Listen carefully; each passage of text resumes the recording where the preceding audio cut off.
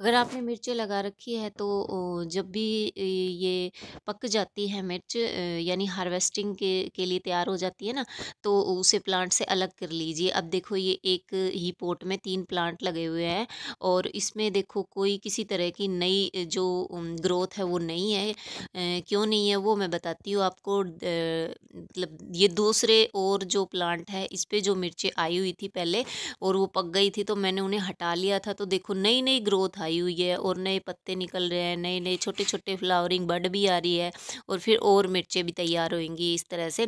तो जब प्लांट पे कोई भी फ्रूटिंग हो, वो पक जाए तो उसे अलग कर लीजिए ताकि नए नए और उस पर फ्रूटिंग बने।